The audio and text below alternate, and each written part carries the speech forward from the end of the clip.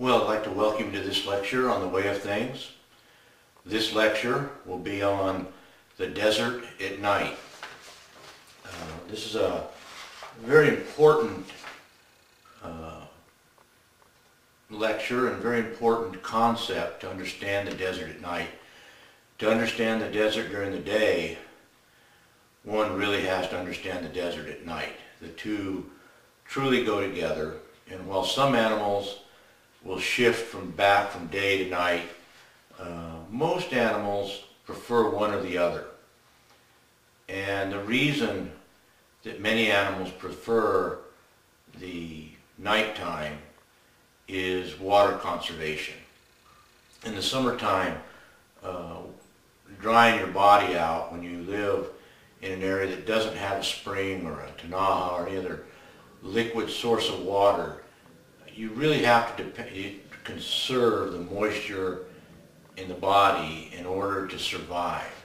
And this is true of ants, of centipedes, scorpions, chipmunks, uh, pack rats, and the like, as well as your deer and your bighorn sheep and so on. Will often uh, travel or be active at night.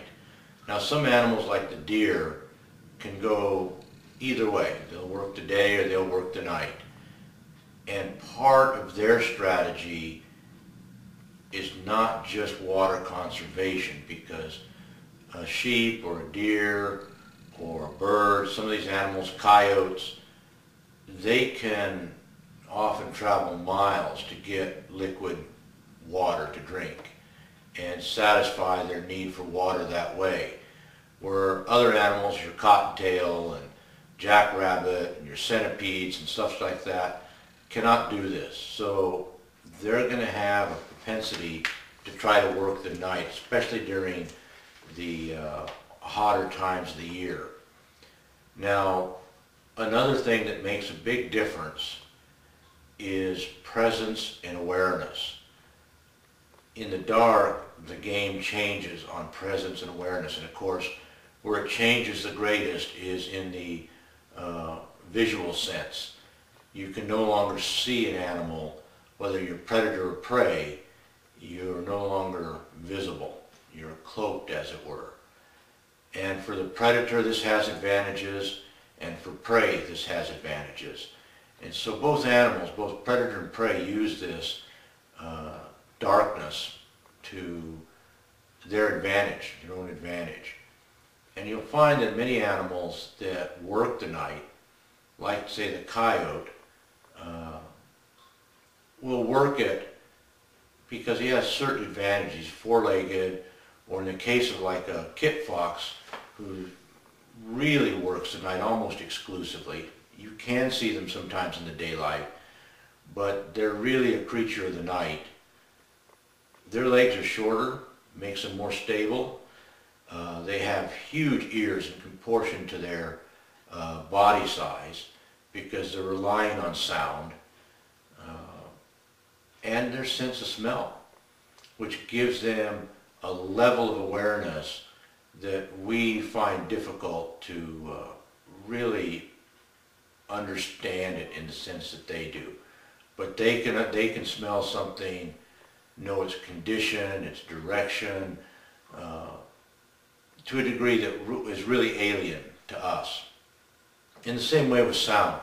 They can hear something, a pack rat or a mouse or some sound, and they can determine that that's not a snake, that's a pack rat.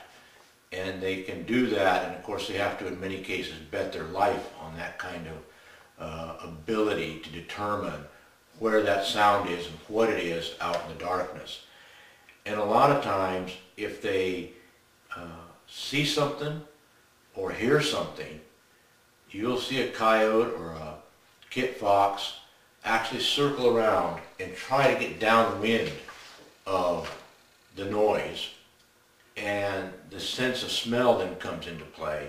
So they're using both sound and smell if they don't hear and identify the prey, then they'll try to use their sense of smell and they darn well know how to get downwind and that that's going to give them in-depth information as to where the uh, creature is at the moment and what it is.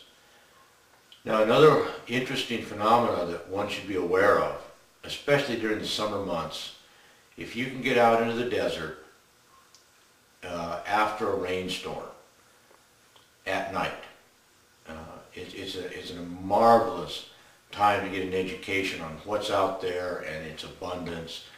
A lot of animals are going to come out that, that very night uh, because there's just resources that they're just not going to have.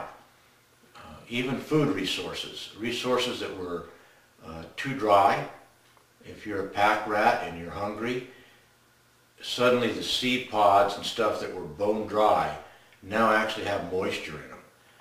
And there's going to be little pockets, even from a, a fairly light rain, uh, a little hole or dimple in a rock will actually have liquid water for maybe only a few hours. The air is going to evaporate, just the warmth and the moisture in the ground is going to evaporate a lot of that water really within hours.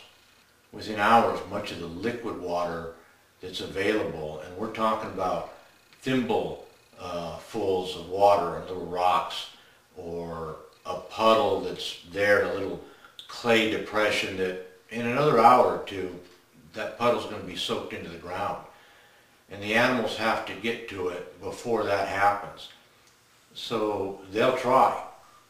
In fact, a lot of animals will get active right at or during the storm to try to get this water or food or whatever resource uh, that's available. And so if you can get out in the desert after a thunderstorm in the summer, it, it'll be a valuable time to, to learn and see what's out there. And of course the insects cycle up very fast too. That night you'll find insects that you didn't know were there. Insects and even sometimes in some cases toads and animals that are just unexpected in the desert. Certainly the uh, termites will be on the loose. You'll be surprised how many termites are out in the Mojave Desert. And they're going to be flying and swarming. And the animals are trying to eat them because they're moist. And it's just going to be quite a, uh, a night after rain. So it's something that you can see the populations and the activities uh, after a thunderstorm. And this is, of course, so after any, uh, I'm sure if you're in the Ponderosa Pine Forest, you'll find it's a very different place at night and probably a different place at night after a rain.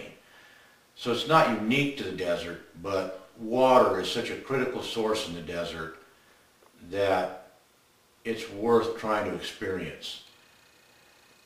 It's also uh, worth understanding that the idea of presence and, and perception and all that play a big part such that at night during the winter when water conservation is not the highest uh, concern, you'll still see animals working oftentimes in fairly bitter cold conditions, hunting or going out to eat your herbivores and such.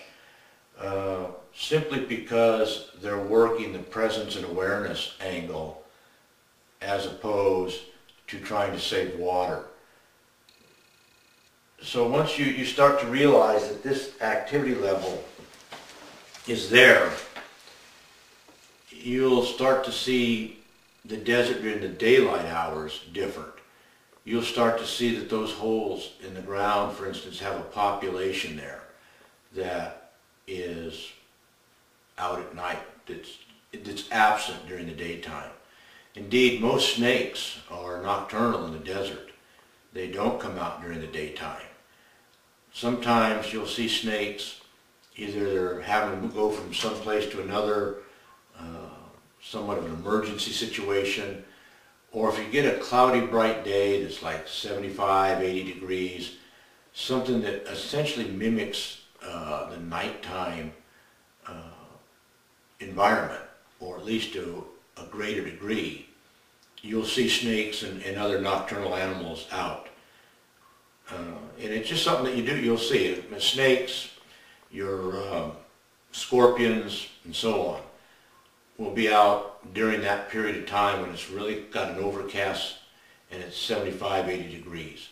It's another time to be aware that those types of days are uniquely different in the desert, such that it's worth trying to, to go out and see the desert at that time.